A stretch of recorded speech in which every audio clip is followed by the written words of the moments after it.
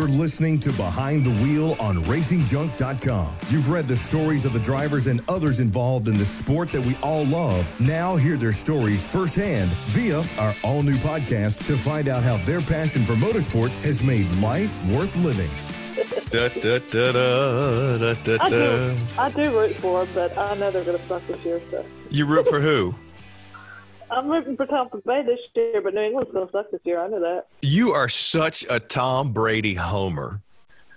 I I know. My brother calls me bandwagon. I mean, you know, I mean, come on. You, you had all that stuff about New England. How, how many years have we talked about how great New England is, and now it's it's Tampa Bay all the way? Is that what it is? hey, hey, both my boys are on Tampa Bay. I got to go where they go.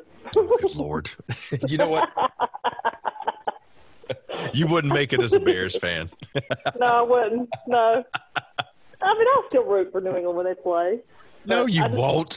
Hey, hey, if they would get rid of Cam Newton, I'd be right back to New England. But no, they got to get rid of Cam Newton first.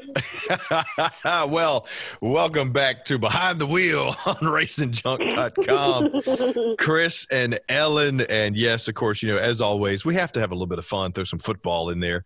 Uh, Ellen's boy, Tom Brady, is finally playing for the Tampa Bay Buccaneers. um, you know what? Good for, you know, good for him. Uh, and, and I guess given the current records of both teams, it, it's I take my statements plural back that you know Tom Brady can't carry a team because apparently he's doing just that. So Well, we didn't play so good against New York the other night, but you know, oh well, we Yeah. still won. and, and Hey, you know what? I'm gonna put up one heck of a fight this weekend too. Oh yeah. Well, I That was mean, heck of a game. my Bears aren't putting up anything, but you know, it feels like Hey, they It- did this weekend. I mean, yeah, against the Saints, they did all right. Hey, the Saints are a tough team to beat. Uh, see the, the bears if the bears were uh, grades in school they'd be my junior year of high school which i almost had to repeat a bunch of d's and an f um, just across the board because there's just no nothing there So, an- anyway ellen it, it feels like it has been forever since we've had a chance to to get together and do a podcast here at behind the wheel It it definitely has. I mean, Yeah. is it's I don't know. It feels like it's been months, but I guess it's only been a couple of months. But it feels like it's been almost half a year. yeah And I mean, I'll be honest, it's been a definite challenge to find inspiring guests.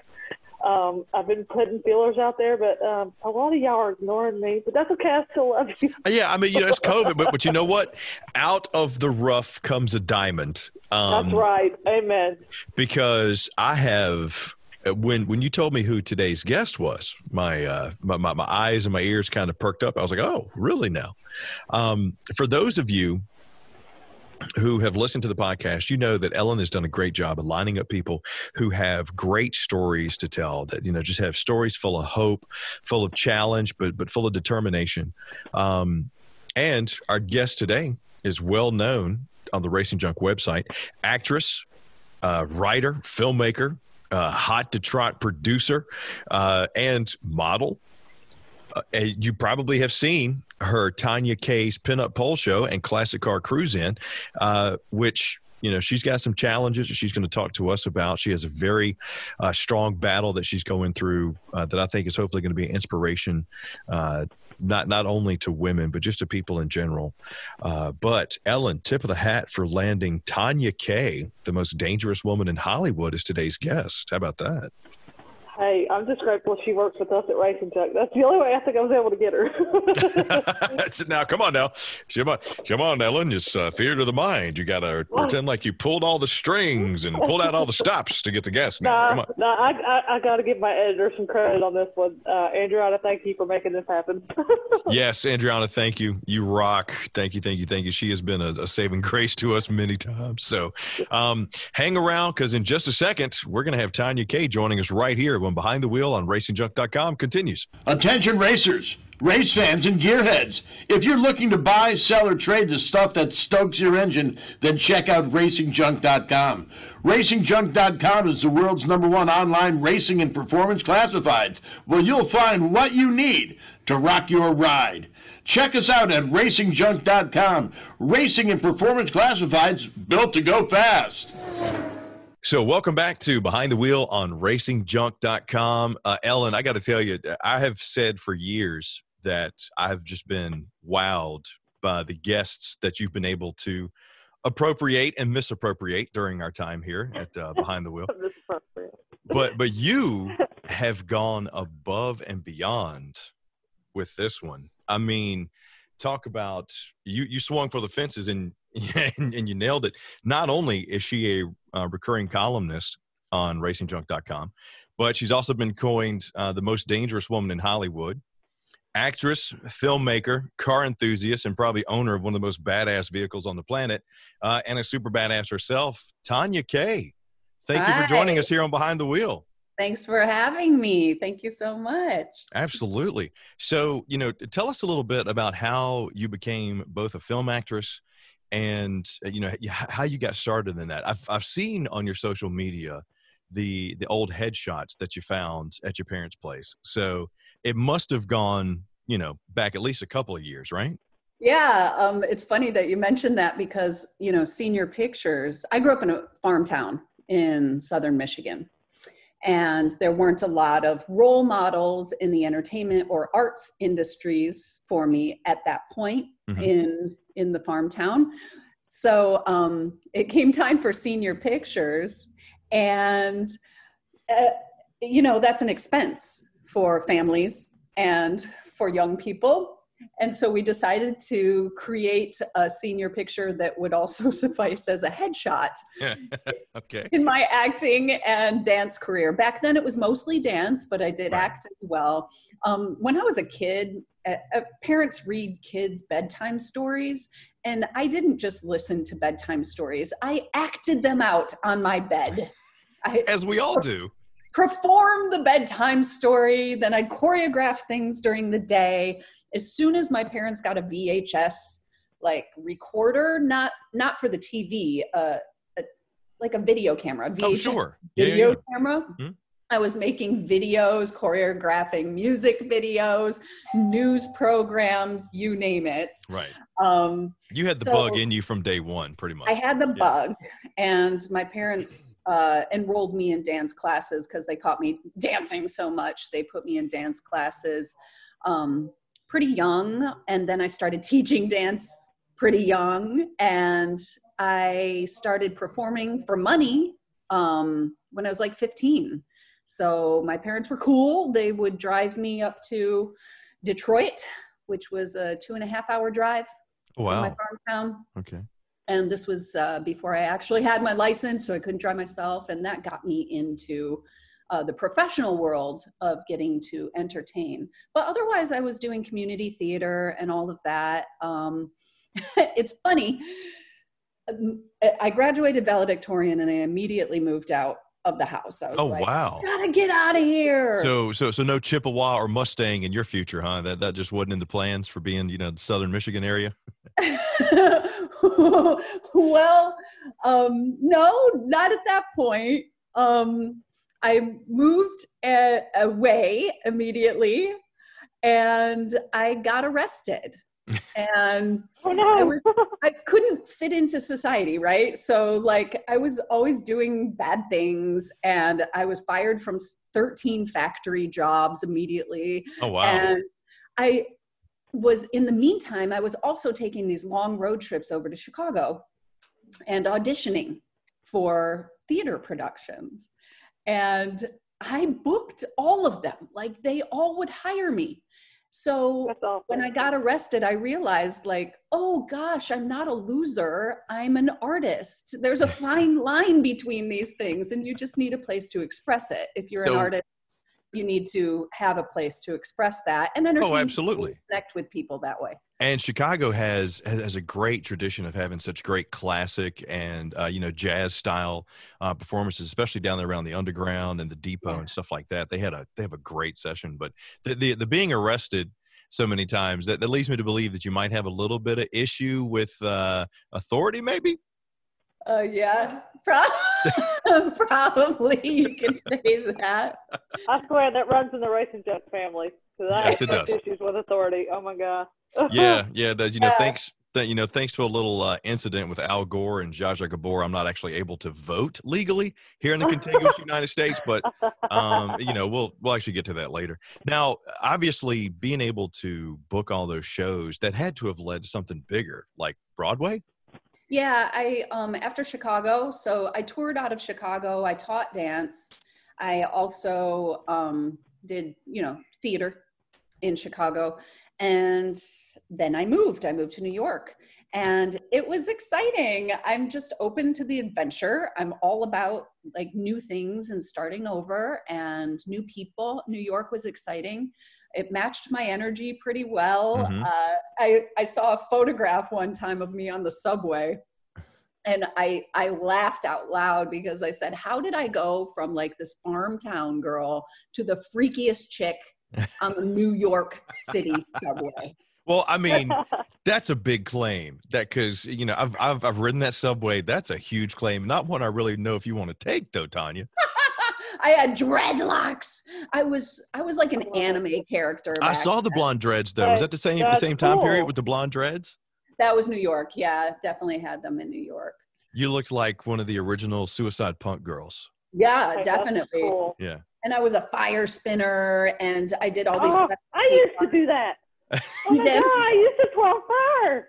yeah yeah so i made a career of it of course and in new york i learned i could do like experimental things really well so um, i moved away from traditional theater Mhm. and more into experimental work and experimental dance companies and that's when i booked stomp Nice. and Stomp was my dream gig. I've been a tap dancer since I was a child. Those are the first classes that my parents enrolled me in. And so I toured with Stomp, and we're like the renegades of the theater world, very experimental, oh yeah. all percussive, uh, just a lot. I, I laugh after I qu- quit the show um, for physical sake because it's hard on the body I was going to say that had to be a beating. very and they don't want to hear it it's very machismo in the in the cast like everybody hurts so don't talk about it you right, know right, right. um, but after i got out of stomp um, i re- recognized a definitive lack of uh, socially acceptable destruction in my life where in stomp you destroy things. It was just part of the job. You destroy trash cans and and uh, hubcaps and you name it. Whatever scraps they got from the yard is on stage and you're playing music on it and you literally destroy it. And then you get out into society when you don't have that outlet. Right. It's just not socially acceptable to destroy most things I was going to say, so you, you go from just years of destroying stuff to now you have to be a law abiding citizen. it was hard it But was so, so, and you know, hopefully you had at least one incident where maybe you're on the side of the road beating a bunch of garbage cans, cops pulled up and you said, I'm just making music. no Right? i didn't do that Didn't? I didn't own a car because all of those times, this is what's funny. Um, for nine years, I either lived in New York or I was on tour, and I didn't even have keys in my life. I didn't have anything that needed locked up. I didn't maintain a storage space. I didn't maintain a home. I didn't maintain a car. I had nothing. I was very free. Um, and now I have like so many cars. Right. Uh, oh, yeah. We're going to get to the semi here in a minute. Yeah. yeah, yeah. yeah, yeah, I love that California dreaming. Yeah. fact, we, you and I need to sit on top of that uh, great space coaster and do some, you know, twirling our fire batons. I don't even know if I, I don't even have a fire baton anymore, but you know, hey, I could get one. I have a baton still. I would I would video it. I would make a movie out of it. You know that. Oh, Do you that'd know how many awesome. people? Do you know how many people would pay to see that? The only thing is, Ellen, we got to make sure that the liability insurance is up. Yeah. Um, Hey, I'm cool. I mean, granted, you know, part of my five year plan was to be laid up with a work related injury. Just not sure if I want to come out looking like a burn victim. Hey, It's real. hey, I've always wanted to be in a remake of Purple Rain. We could just make it different. It could start with a fire and end with a rain. Hey. oh, that's cool. Yeah, good. Good idea. I have the chaps that Yes, Prince girl. wore. So, And then I toured for a off to the long hat. time and I wound up in Vegas performing and I did many tours. And then I wound up in Los Angeles where um, theater is is uh, less people have less interest in theater right. and more interest in film and television, so Mhm. entertainment instead of the arts. And you can still use your artistic discipline, but it's wise to figure out how you can um, uh, morph it into something that people will pay for in this uh, market. And it's beautiful. Film and television is is a fun industry. It took me a while to understand like the connection is different because when you're on stage and you're doing live stuff, you get immediate response from your audience Right. Right. and it feels good as a human being to connect with people that way Mhm. and then on in film and television you don't really get that at Yeah. all You just kind of So- hope for a response. You just kind of hope that they're giving you the reaction that you want, you know? Yeah, Yeah. like everybody on set is working so they're not like wowed sometimes you get comments like really neat good job like Right. great but your audience it's mostly social media and I, social media is weird anyway Mhm. so so people feel very anonymous there and they they project onto performers sometimes like we don't have feelings and we're not human beings i don't know Right. so um Trolls. so social media, I have to, Mm-hmm. you know, take you take with a grain of salt. It's just not the same as performing on stage. So out here, I did create uh, Tonya Kay's Pinup Pole Show, which is a morph between classic cars and stage photography, pinup photography, and uh, retro styling. You know, we How did that all come about? Because I mean, I, you had to have been a model along the way as well. Uh, yeah, I guess so. Like I did some commercial modeling and I did a lot of uh, form and figure modeling. Being a dancer, I did Mhm. form and figure modeling in Chicago for art classes and artists a lot. Um, and I was never passionate about modeling. It was just an extra way that I could make money in a Sure. performing arts career.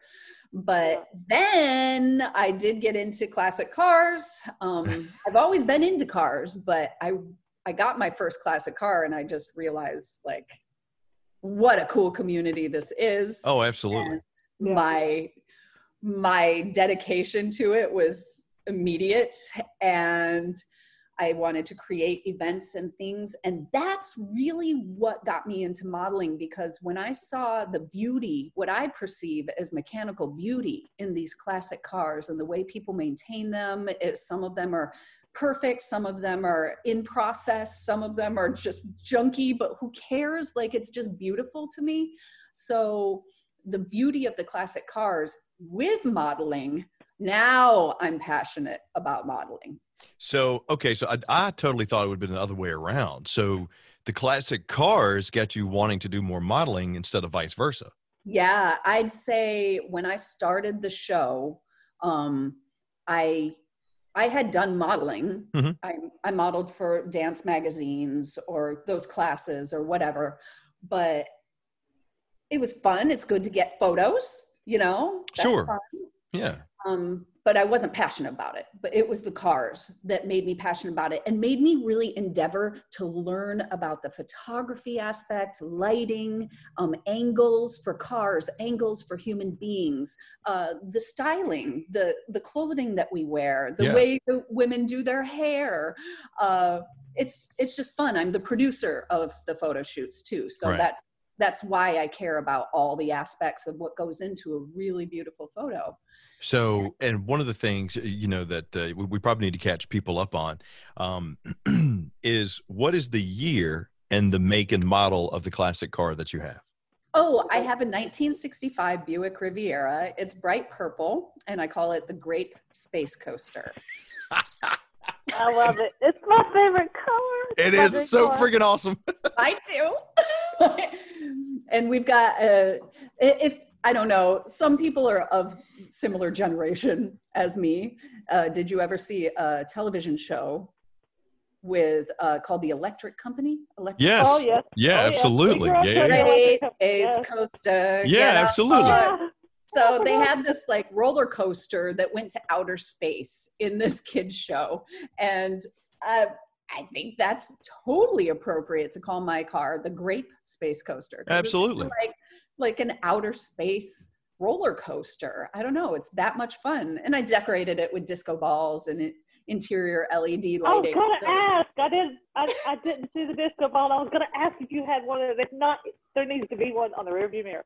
Absolutely. But there's one on the rearview mirror, and you know, out here in California, everybody has the dingle balls. You know, Oh, oh, yeah. yes. Yeah, Yeah, yeah. dingle ball. Oh yeah, So my my dingle balls are disco balls. Oh, that is That's awesome. awesome. Is that what they're called? Dingle balls? I never knew that. Yeah. Yeah, or you Yeah. call them on oh, trucks. They call them truck balls. My husband used to have some, and his actually got stolen while he was at work. Somebody No, actually got in there and took them out. Let me tell you what, that's dedication. no, they cut him off the back of his truck. They cut him off the back of his truck. Oh, wow. Unacceptable. Unacceptable. That's absolutely unacceptable. He 'Cause was you know- so upset. I wanted to get a key and, and open up the mind of Tonya Kay and go into it for just a minute to find out how you came up with the whole burlesque pinup stuff and the classic car tie-ins. I mean, I, I to have been there that night when, when you said, I got an idea.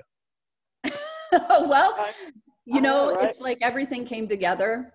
Um, but I was I was in love with cars since I was a child. My parents, I grew up in a car household, and my parents had like an early 70s, like 72 Stingray, 69 Goat, and an early 70s Harley Davidson. I thought they were the Oh. funnest things in the world. I also liked our late 70s uh, Pontiac Grand Prix. Oh, Uh, heck For yeah. reason, Oh, I I had one loved of those. that car. Yeah, absolutely. that was my first car. Yeah. Oh, really?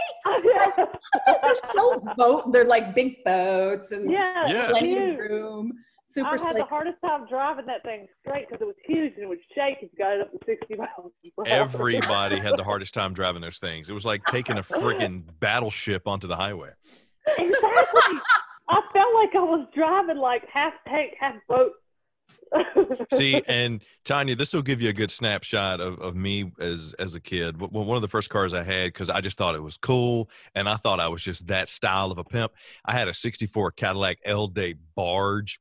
Um, you could literally lay completely sprawled out in between the front and the back seat. You couldn't turn it around in six lanes of traffic, but it was uh, bright red with the white leather interior.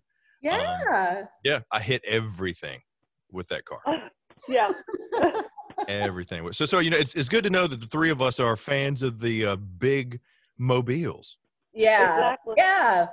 And then when I did first get, you know, I went on tour for so long and I was a dancer, I'm a professional in the arts career. Um, I, I, I uh, the first car that I actually got was a diesel engine and I converted it. I, then I got really into um, alternative fuels. So I was converting cars and I converted four automobiles.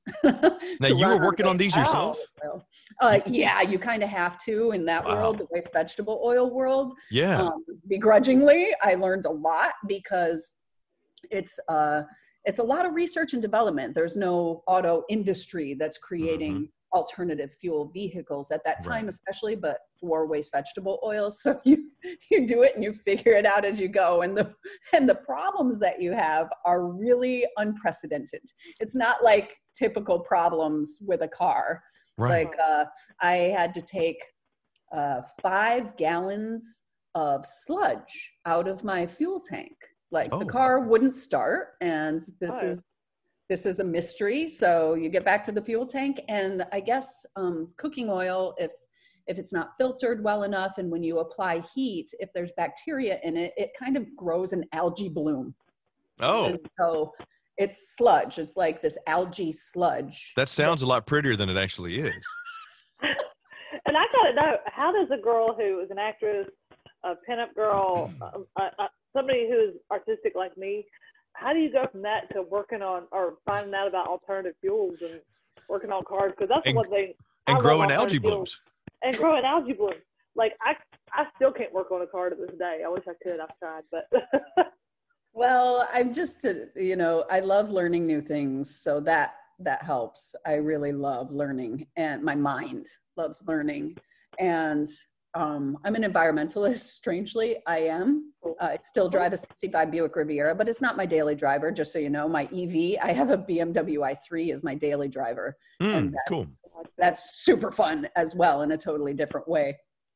Um, So, like, I'm an environmentalist. I've been vegan for 27 years, uh, and and I hadn't I hadn't had a car. So I was just like, let's have a new adventure and figure out how to do something brand new. And it was fun. It was fun for many years. Uh, it became tedious uh, after many cars and many years. It became tedious, and that's when I started looking for a fun car, and that's when I found the Buick. Um, but uh, to answer your question, going back a long way, I was okay. already a dancer. I was already a professional performing artist. I had gotten into pole dance, which is another uh, specialty kind of experimental movement. Oh, the me too. Oh, and, uh, Nobody wants to picture that, Chris.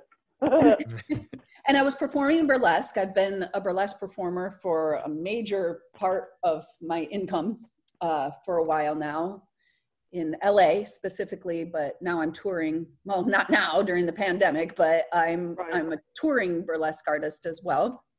And so I wanted to combine classic cars uh, with pole dance specifically.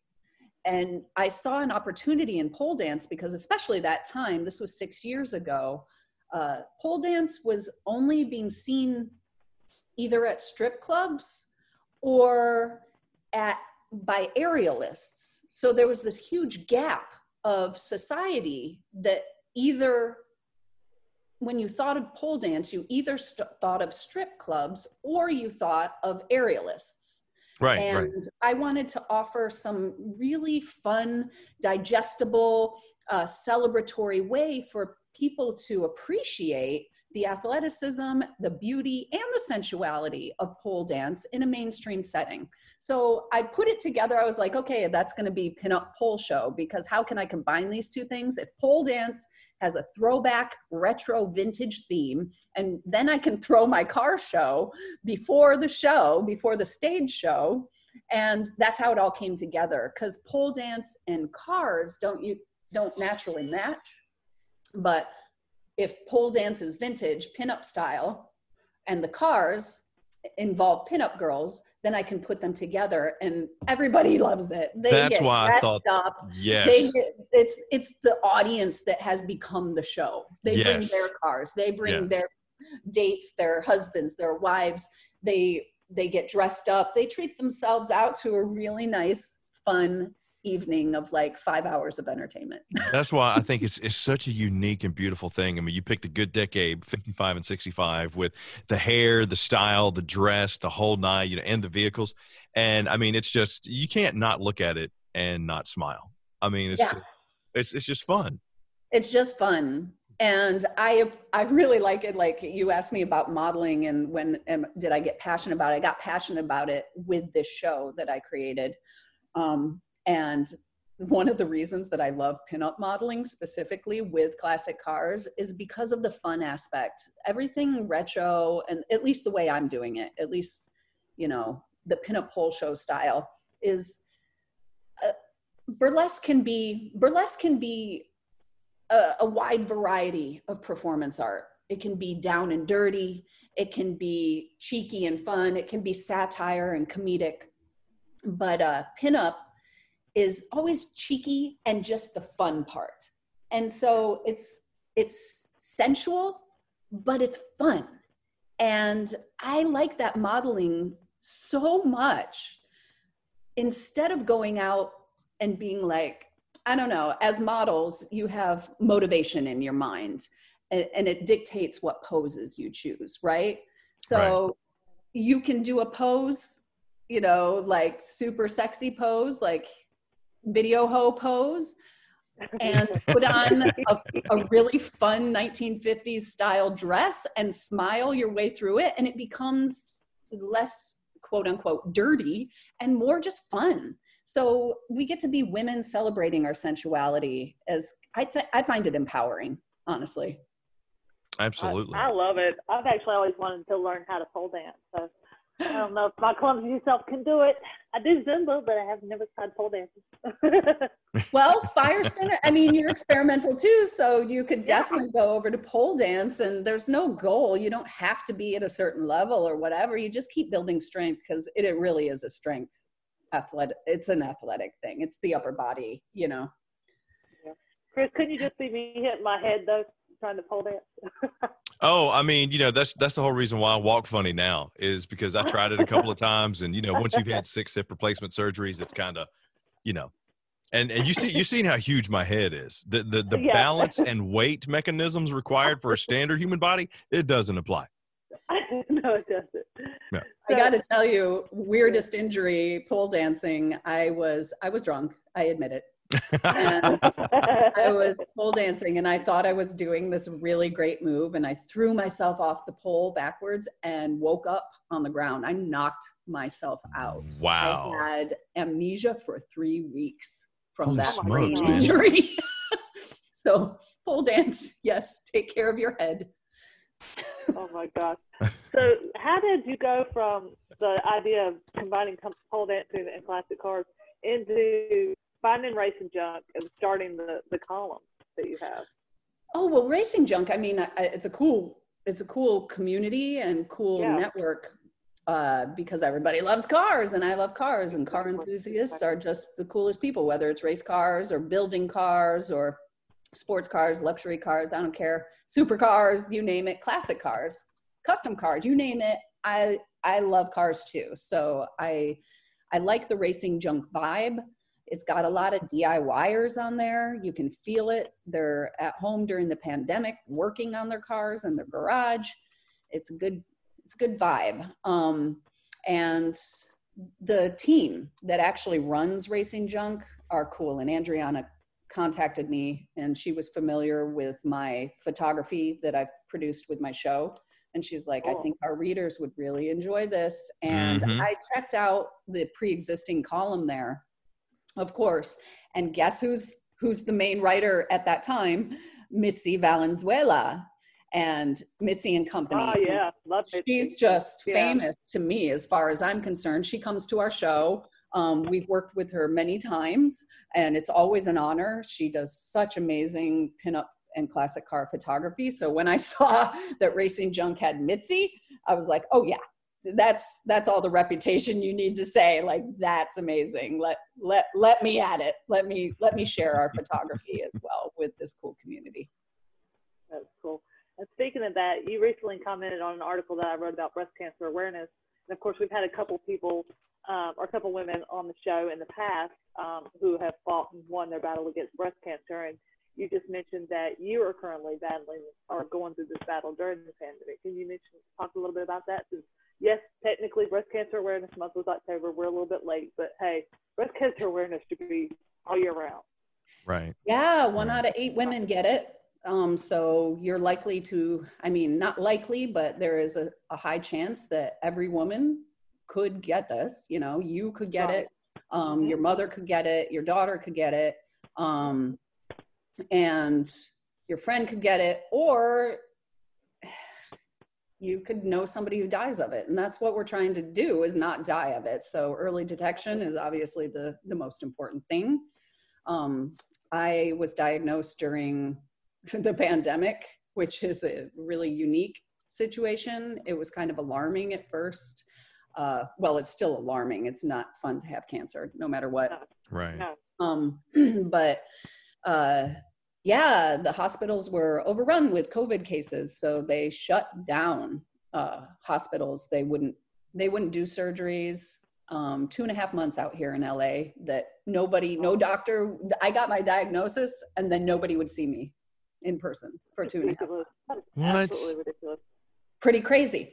But in retrospect, I do look back and I, I have a, a really cool surgical oncologist. And the whole time she was saying things like, you know, I, she was almost apologizing, like, I'm so sorry that you're going through this right now. Um, but we might find out in the future, like you are, you are a pioneer of how we're treating breast cancer, your type of breast cancer. By the way, there's over 40 types of breast cancer. So nobody can say what anybody else should or shouldn't do. Right. Right.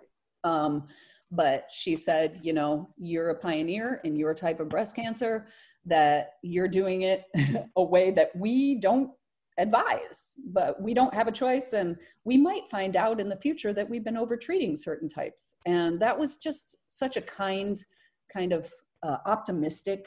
I don't know. It's hard to say optimistic, but an optimistic approach, kind of a renegade approach. It matches my mind.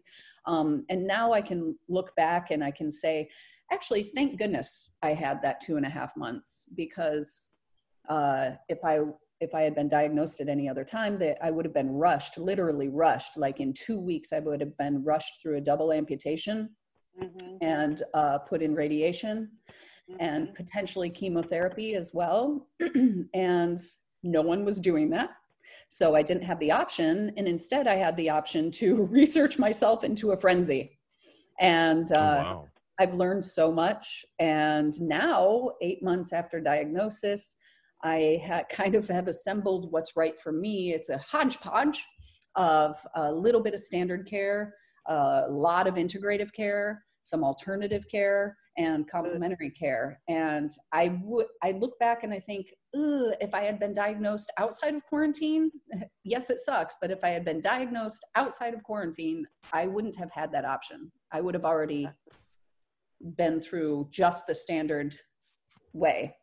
And that's not right for everybody. So uh, yeah so i've created my own uh, way and i'm on it. And i got a partial remission status recently. Oh, that's great. Awesome. Yay, that's beautiful. Congratulations. Yeah. Thank you. It's a slower process because we're not just cutting it out immediately but right. um but yeah so there's i think the hardest part maybe just for me, but I, I would expect that it would be hard for any woman is the mental part. Cause yeah, right. I'm young. Any, you're always too young to hear that yeah. you have a life threatening disease. Yeah. Um, and nobody should be thinking about living and dying, you know, but it makes you a, a, stronger person, but it's hard on your mental. So, uh, the first doctor I contacted when I got my diagnosis was a psychologist, and I would highly recommend it to anyone. That's, I was gonna say that's very smart. Yeah. Yeah. Yeah, I knew that, that this was big, and my husband is an amazing human being, and he's really stepped up to the plate and really shown his true colors and how he's going to be there for me through whatever. That's awesome. Um, but uh, I didn't want to. I don't know if burden is the right word, but oh no. yeah, I know. I do use him. We do talk, and he's there. I swear, women, we women, we do that. We're like, oh, it could be a burden on our men.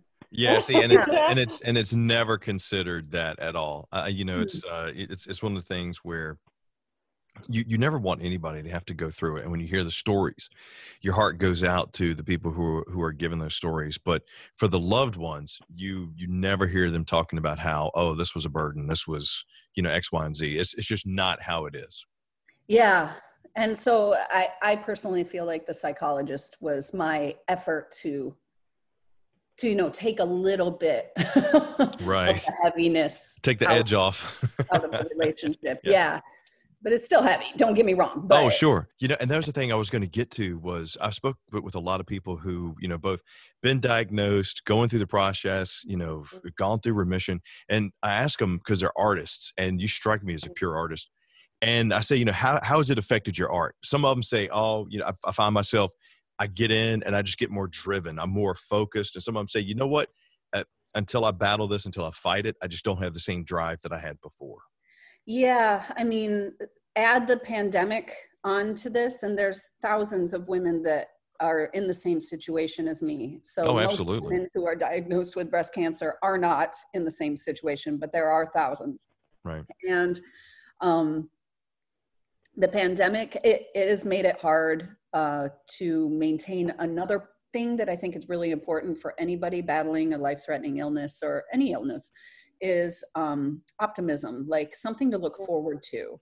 And some people have families and they say, I'm doing it for my kids, or artists, mm-hmm. they might, you know, I, I've got this job next year and I really want to be ready to go for this job. But the pandemic has also put like a heavy weight on especially artists who yeah. are unemployed until people get it together and, and squash these numbers. Oh.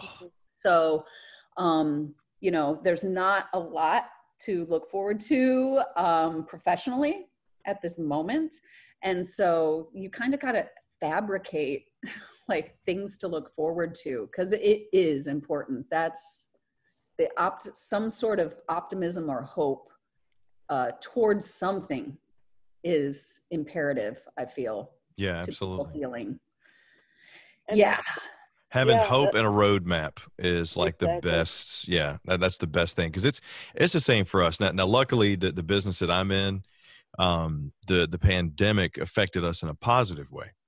Um, yeah, you know, I I work for Camping World. I'm one of our spokesmen, and uh, you know, people just have gone crazy finding RVs. You know, going out and you know, camping, doing all that and the other thing.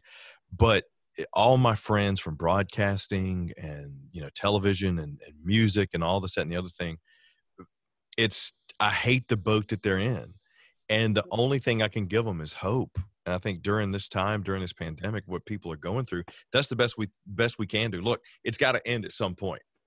Mhm. there's there's some light in the tunnel you got to make the light you Yeah. know and and for you your talent and your ability and everything you're able to do is your light at the end of the tunnel yeah. Exactly. I don't know how to do anything else. Um, in a sense, this is your way to inspire other women. I mean, you know, we talk about hope and that kind of thing. That's why I put out the book that I wrote called A Comeback because we've had a lot of stories on here um, where people have um, kind of gone through life-threatening things, um, you know, or career-altering things um, way before the pandemic, and they've all come through it, and they're doing something, you know, based on what happened to them to help other people. I mean, she mentioned alternative therapies. Tommy Johnson Sr., who is the father of the drag racer Tommy Johnson Jr., um, he went through cancer, and you know the doctors gave him six months to live, and this was Chris. Do you remember it was five? No, this was several years ago, fifteen years ago, maybe. yeah, yeah i was gonna say at least 15 yeah yeah. So, and he stopped doing the chemo, he stopped doing the radiation because he had a different form of cancer, but he went to Mexico, found an alternative treatment. It was um, actually some teas and stuff that he drank, and he is now 100% cancer free and has been for like 15 years. I need to hear that. So, I need to Yeah. hear that. yeah, yeah. You know, uh, I just crossed my mind. Another awkward thing as a performer, as a like a public figure going through cancer, whenever it is, whether it's the pandemic or not. Um, one of the hardest parts for me is I maintain an online presence through social media Mhm. Mhm. that is largely, you know, self promotion. It helps me get more jobs. That's just how it is in the performing arts sure Oh, yeah. um, Oh, as an actor, a filmmaker, and a dancer and producer. And Mm-hmm. so I really had to consider like how much of my cancer journey is going online because the people who follow me give me work right and whether you like it or not this is for me everybody has a Right. different way that they Sure. do it Right, and Sure. there is no wrong way but for me right. um, I'm hesitant to start putting my cancer journey on my social medias because the people who hire me follow me and there's this thing that happens in their minds they kind of count you out if you're sick That's So ridiculous. Isn't that, isn't that sad though? Isn't that sad that the state of just social media in general has made us get that perception because it happens? Isn't that sad? But I think Yeah. it's better if it could be, if we have the honesty of, hey, this has happened to me, but look what's come from it, because I think that inspires people more. Right. it's weird Yeah. because the public figures their business is their their self Themselves. Yeah. Mhm. Yeah. so it it makes sense like on my Pinup Pole Show social medias of course i wouldn't talk about cancer Right. Right? right. Right. because it's a business it's it's a company it's a business I, it's not appropriate to talk about personal stuff at, through my business Sure. but mine it's harder to see the line Right. because i am my business and so i made the choice to not uh, talk or talk much about it at all on social Mhm. media i don't i don't need social media support i guess i don't Right. know Yeah, exactly. but I- I did create a safe place for me, and that's my Patreon page. So I rectified that by allowing myself one online outlet where people could come support me as patrons, Mhm. and that would show me I felt that they were invested in me more than just as a content producer, as as an entertainer. Sure. Yeah. Mm-hmm. So that's where I do express myself and it's nice to have that outlet. That was a that was a smart move for me as a public figure was to draw the line, know where I was going to draw the line. Right. See that see and, and that just infuriates me because yeah. uh, M- Mike Tyson had a great line about social media uh, a little while back that said uh, social media and uh, people not being able to feel the repercussions of their actions uh, has has really made people feel invincible. And his line was, you know, we need to go back to the days when you said something stupid to somebody, you got punched in the face. Exactly. Um, and you know, it's it's it's such a it's such a violent statement, but at the same time, social media has given people this sense of invulnerability to say what they know is in pro you know it's not correct and it's, it's mean but they get away with it yeah and these are the after effects of that i think yeah. a lot of times what i'm watching now um the la the riots in oh, june yeah. happened at my house in yeah. los angeles oh, oh wow. oh fun and oh, wow. the lakers win and mm-hmm. we have celebration riots and the Dodgers win and we have celebrate at my house. I don't know why people come to my house. Well, it's, it's the car and the dancing. They they want to see both. I mean, my car doesn't live here. I mean, I'm in LA. I have to have an offsite garage. Yeah. yeah, right, girl. I'd have that thing too. Don't let them get a hold of that. Oh, but Lord. I do think after seeing, witnessing so much violence um, in front of my building this summer, uh, I kind of think social media, it, in, it, to tag on to what you were saying, social media incites violence in some cases because people don't feel the repercussions of their actions, because they're sitting somewhere states away yeah. making comments about whether somebody should or shouldn't burn and steal that it creates a situation where there are millions of people that are being affected by that type of social media um, interaction. It is right. dangerous. It They've gotten way too comfortable without paying consequences. Yeah. so uh, that's sorry. That's that's that's that's, that's kind of my soapbox for that one. But um, you, you you just mentioned something that, that caught my attention. You keep uh, the Grape Space Coaster off site. Yeah. Um, obviously, don't mention where, but uh, you've gone through a number of vehicles throughout your life. Tell me about the semi. I know you've had the three diesels and you got the Great Space Coaster. But I want to know about this semi. How, what, oh. where, why? Well, um, in Los Angeles, I own a uh, company called Solid Hollywood, and it's an equipment rental for major motion pictures. Oh, right and on.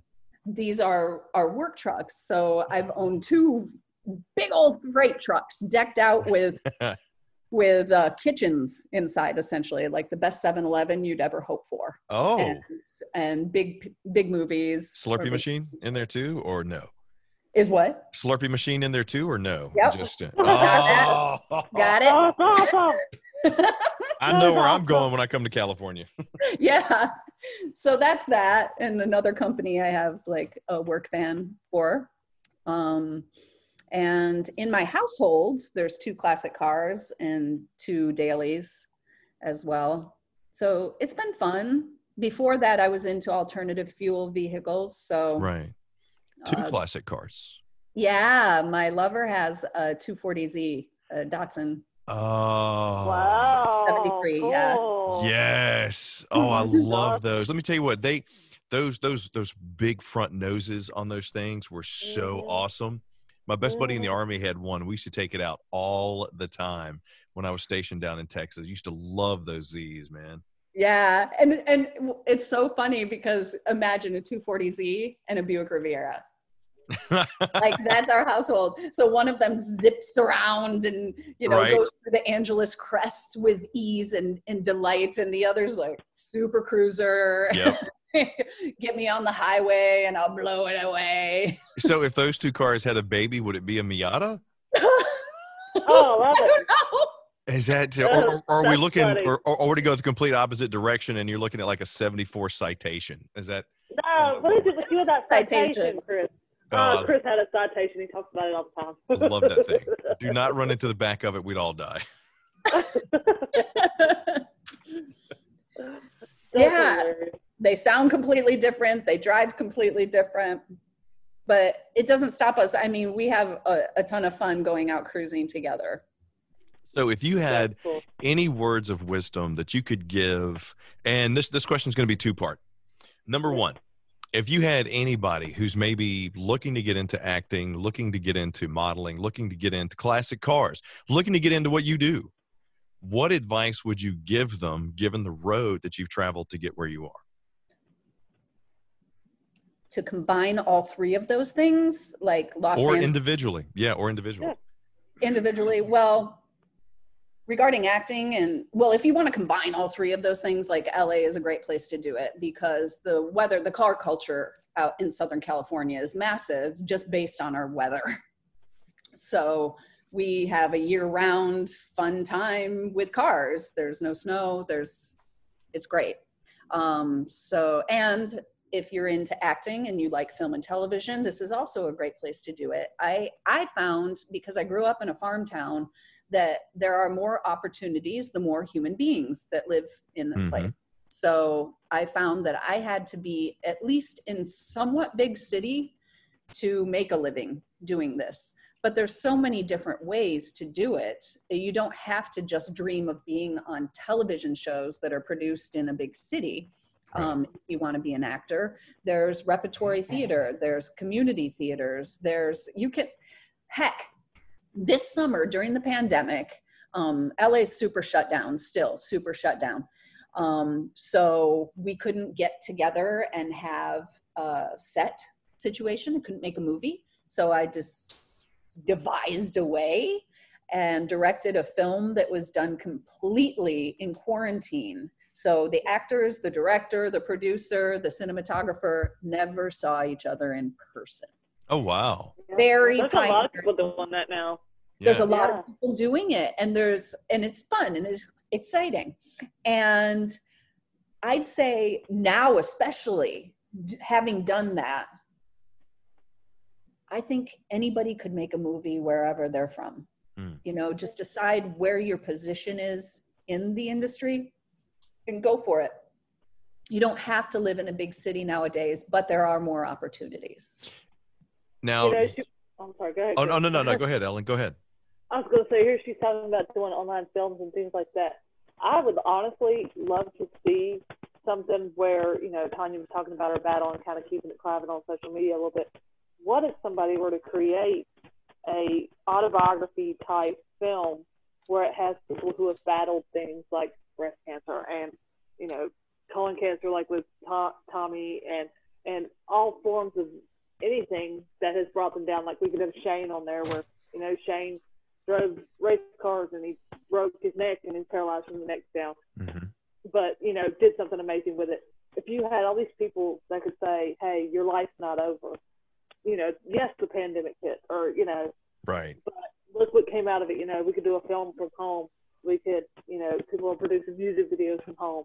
Um, you know, what if something like that? I mean, I could see Tonya doing something like that. And, Oh, know, absolutely. Yeah, yeah, even, yeah. even even women that may have been, for instance, burlesque dancers and have broken a leg or a hip or a, you know, or become paralyzed. I've actually seen a woman who um, was some form of dancing, but she was paralyzed, and um, she did it by the wheelchair and all that, and she had, you know, like lights over the wheelchair and all this stuff, and it was it was Hmm. really cool. I mean, I don't know what she I can't remember what she called it, but it was really really cool. So that's gonna be a film idea. I'm just saying. You are an artist. You have a lot of good ideas. Listen to Ellen doing a hard pitch. You know, the next thing will be in your email is a script. Ah, great. No, I, I wouldn't know how to write. I just think that would be, and I think Tonya could just be like that first story to be like, okay, yes, I'm going through this, but look how beautiful it is to come through this and have something better out of it. See, and and and my idea I just is, you know, follow me down the rabbit hole on this. Here's here, here's my idea. All right, we take Will Smith, we put him in a post-apocalyptic world where he's the only one alive, oh God, did they do this already? and there's zombies, and he has a pet dog with him, Legend. and yeah, didn't they do this movie already? Wow, it's- sounds like a I, I like that title It's, you know we'll, we'll put it down there as working but you know if you think about it What a great concept for a movie. I just, I just, haven't, Relevant. I- I. I just haven't found the right place to pitch it yet. I know it's out there somewhere. like on Netflix. Yeah. Or Yeah, we take right, a classic car, or we take a classic car that's possessed That And my it- demon. and it, atta- and it attacks people. I mean, boom, we got so many great ideas. Now, um, Tonya, you know, one of the things that I, that I After that, the loved. Tractor trailers, the stuff you.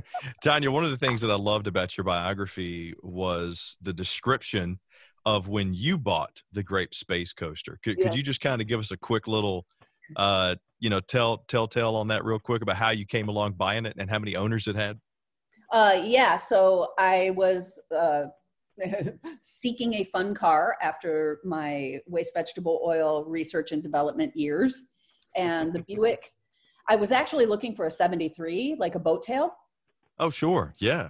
because I saw those and I was like, oh, those are so cool. Yeah. The big Batmans. Yeah. Yeah, like a Batman car. And I came across the 65, this 65.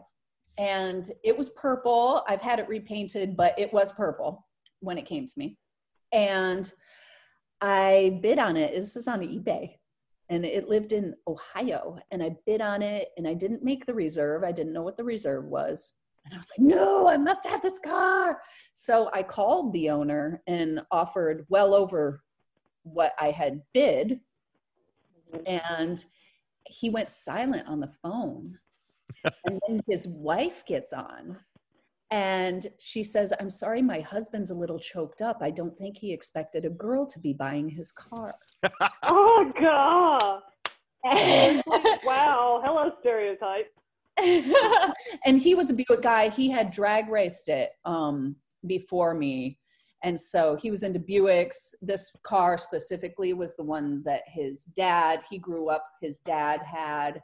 So, um, and this was during the recession. So, you know, a lot of people were offloading their spare cars or their spare parts or whatever. And uh, That's beautiful. I scored Mhm. and he put it on a shipping truck on a, a car truck whatever the car transport oh, the flatbeds. trailer. Mhm. and it came out i think it took two weeks and by the time it got to me it was on the top so that's good but it was so dirty and it, it did not look like what i thought i had bought. And it i couldn't i couldn't the brakes were horrible. I couldn't make the thing break. I could the doors kept flying open while i'm driving down hollywood boulevard. It was comedic. I was like i made a huge mistake. Um but then i got into you know classic cars and and pretty quick we we put it back together and and i learned a lot and i did a partial restoration recently and yeah all the documentation this car is a cool car because Mhm. all the documentation from the first owner came with it That's so, so- cool. and I got to look through and who was the first owner, uh, Harold Wyatt. And Harold Wyatt owned a Buick dealership, so I like to think that this was his favorite car off of his Mhm. own lot. And that Buick dealership was two miles west of where I lived. So I brought this car all the way back from Ohio to Wow. its home. It literally grew up here, exactly where I brought it. That is so cool. It's pretty cool. Pretty That cool. is. Only been four legitimate owners before me. Right. And and because of all the documentation that came with it, it's very exciting. I can follow kind of you can piece together like the history that this Mhm. car had um, per its owners, and it's fun. And I hope that now it's the, the digital age. So I'm like, do I save all my digital receipts like the other owners did? Heck so yeah. I pass this car on to the next owner, that they'll be able to appreciate it. Absolutely. Oh, Yeah, ab- yeah, Sell it absolutely. because of that. yeah, because I mean, th- those cars will go on forever. What What is one takeaway that you learned, like like maybe a hard lesson that you learned during the purchase and restoration process? Oh, I would definitely put it in for. uh, I mean, you can buy a car that's pretty good to go, you know, pretty nice Mm-hmm. for more money, or you can buy a car that needs more work for less money. and I bought a car that needed more work for less money. And maybe I would do it differently. Maybe I would spend more money up front this next time. Uh, but something I did learn if you're going to go that direction, we who buy the cars for less money are trying to save money. And then we just do one little repair and then one repair here as we save up our cash. And and then the first repair goes bad so you redo oh, yeah. the first repair and essentially you just spend a lot of money on the same repair and you never have a finished car so if i were to do it again buying a car for less money that needed more work i would just go for the restoration right away. I would fix it if i could you know right, financially. Right and now is not that time so i wouldn't. But if if if i could i would just put it into restoration and have a finished car that was fun to drive sooner. Wow.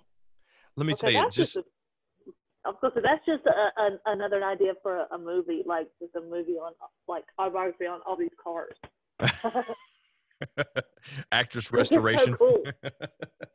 yeah yeah I have a scripted idea, you know, that yeah. I have um, it always involves cars. Like if if it's my idea, it's got cars and girls, cars and yep. girls. Yeah. Hey, oh, that would be awesome. Who doesn't love that? I mean, seriously, who doesn't love that? I love it. Right. I love it. I mean, you know what? The whole time I'm sitting here listening to Tonya talk, I just keep thinking of all the stuff that she's been through, all the things that she's tackled and accomplished. You know, and even going through the battle that you're going through now. If if you had some words of wisdom or words of inspiration to you know other women who are not only going through what you're going through but uh, maybe have a friend who's going through it what words of wisdom would you give them i would just be there for them. I, I don't i don't think i'm wise. I mean we're people say we're courageous for going through this. This is just life you know? I, i'm no more courageous than anybody just living. Uh, this is what i get. This is the hand i've gotten. So I, I don't know that I have words of wisdom specifically, but I do know how to be there for somebody. Right. Now, when they are going through something. And a lot of us will go through this. And I'm I'm so much richer of a human being for having gone through this and going through it right now that I feel that I can be there for other people better. And that's what I can offer. Maybe not maybe not wisdom, but humanness and support in a way that's meaningful. I love it. I absolutely love it. Yeah. So, so what's what's next on the horizon for Miss Tonya Kay? Well, uh, two and a half years ago, I started the immigration process to Canada. Oh, okay. And oh, wow! Not, I got landing paper. you what? Did you I say want to go to Canada? I want to go to Canada. I want to go to Canada. I did want to go to Canada. yeah so we got uh landing papers ironically when quarantine started oh wow uh, so i uh, what's on the horizon is me uh, actually seeing through my landing up there mm-hmm. and uh, eventually getting dual citizenship and being able to live and work in both countries equally oh. um, so i'm excited about that that's what i've got you know in front of me looking forward to uh, right now what's on the horizon is continually focused. I'm, my priority is healing cancer right, right. now. Mm-hmm. So um, that is on my horizon. Moving to Canada, uh, completing that process, continuing that process. Can vegans eat poutine? Yeah, there's. oh, yeah. Ah. Oh, yeah. Oh, There's so, half a block from my front door is a pretty heavy vegan poutine maker. Oh, nice. I mean, as soon as you said Canada, it's the first thing that popped in my head was I want some poutine now. you can.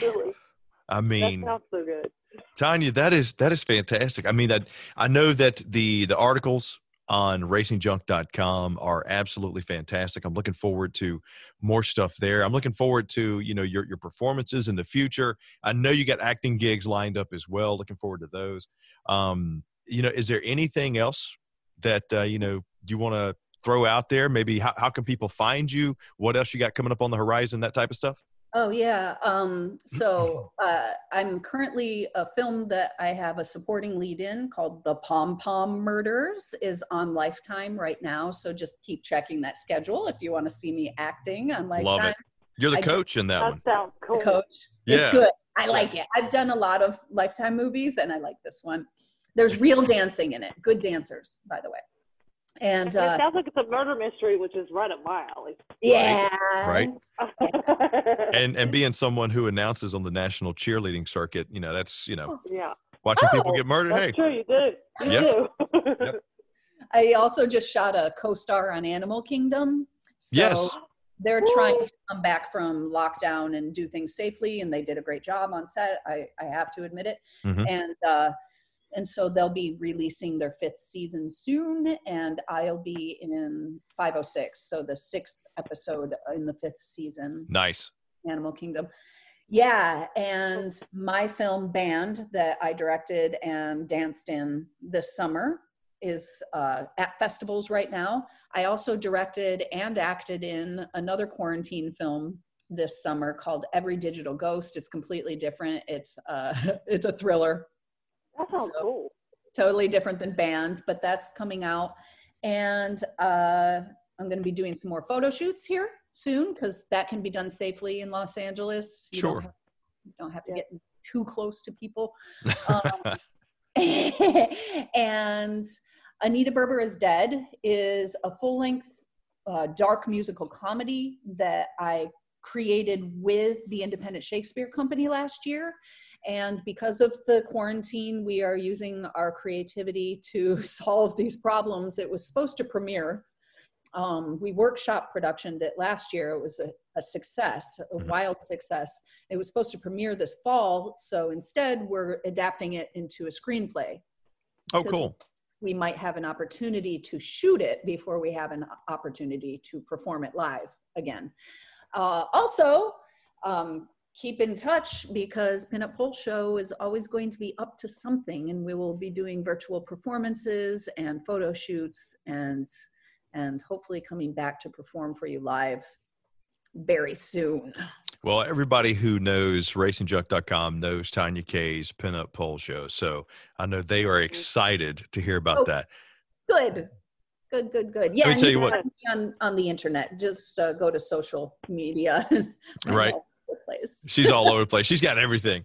Well, Tonya Okay. Kay, let me tell you, this has been an absolute joy, and you are a treasure. So thank you so much for spending time with us today. This has been uh, just a ton of fun.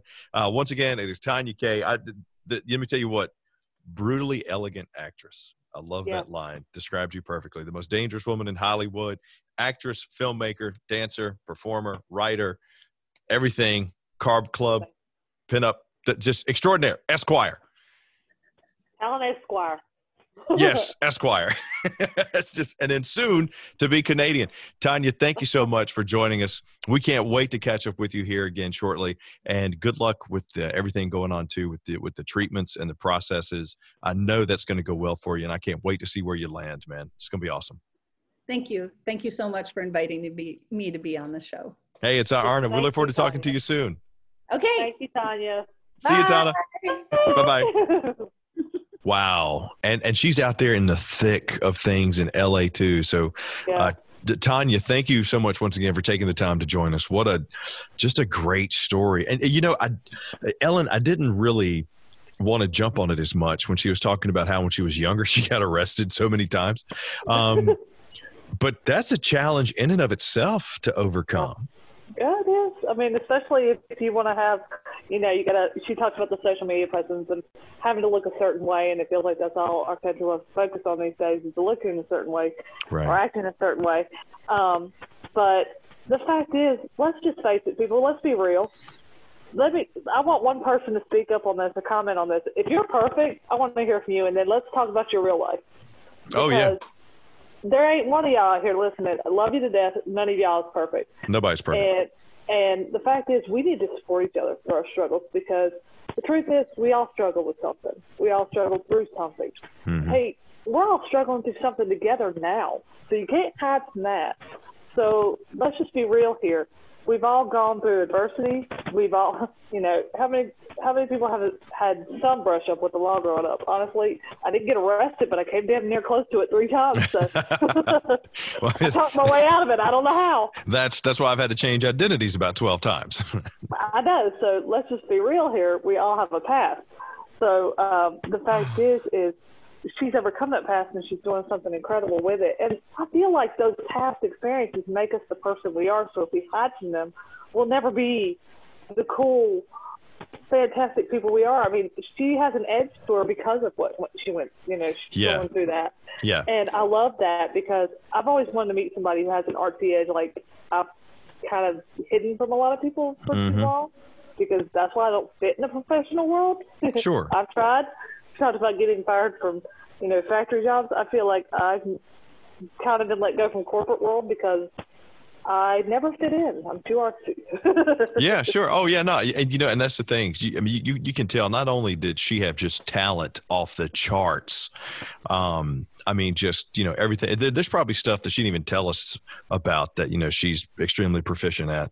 Um, mm-hmm. But she's she's comfortable where she's at because she's comfortable with the experiences and where it's brought her, and that's huge for being able to tap into your own potential uh, and and excel at things. So, um, you, you, know, and you're absolutely right. I'm not very comfortable in the corporate scene anymore. I, I hated wearing the suits. That's just not me. Well, no. um, I mean, you know, we, we used to talk about that back in the old corporate days. Uh, it's it's just not it's just not me. It's too fake, and I'm mm-hmm. I'm not a fan of the, uh, the the you know the corporate plug words that you hear people using all the time. Mm-hmm. You know, it's it's the paradigm shift, and you know, it's it's forward innovative thinking that's gonna. Put you know, it's like just stop, just be real with me. Um, you know, which which I think is why I love where I'm at right, you know, now because we're just so mm-hmm. real, and the management we have is just they're, they're real people and they feel like real people. Uh, and Tonya Kay was definitely real a people. real person. Yeah, she is real. That. Yep, and real good people too. I am so proud of what she's doing, what she's able to accomplish. But more importantly than that, I'm proud that you were able to get her, Ellen. Another one, man. Another one. Great job. Hey, hey, like I said, all my editors doing. you know, it almost makes up for all the bandwagon jumping that you do with your football teams. I mean, you know, so maybe I'm just really a two-player fan. Yeah, that's all it is. that could be it. Well, I do know this. Uh, we have a lot more coming here on Behind the Wheel yeah. at racingjunk.com. And if Ellen reaches out to you, please respond to her because you don't want me getting sick on you. Um, I mean, you know, I got a I got a big swing, a, a big stick to swing nowadays, and you know, I'd, I'd hate to swing it. and we also just want to give a shout out to all those who, you know, Tonya talked a little bit about her uh, battle against breast cancer. Breast cancer. Well, I can't talk today so I just a big shout out to all those who are battling this kind of um, you know disease and, and things like that because the fact is is that's going to make you an overcomer. And I want to hear yep. your story. So if there are more of you out there like Tonya who are afraid to tell your story, don't be afraid. Yeah. There are more people that need to hear your story than you could possibly realize. Yeah. So let's come out out from underneath the woodwork. We salute you. We want to tell your story, and we wish all of you a speedy recovery. Yes, absolutely. And you know, just kind of like what Tonya said too. You know, you don't have to worry about providing words of wisdom. Uh, sometimes just being there is more than exactly. enough. So exactly. So thank you so much for joining us for this episode of Behind the Wheel on RacingJunk.com. Uh, for Little E, Ellen Richardson, I'm Chris Young. We look forward to catching you next time. Be safe, have fun. We'll see you soon.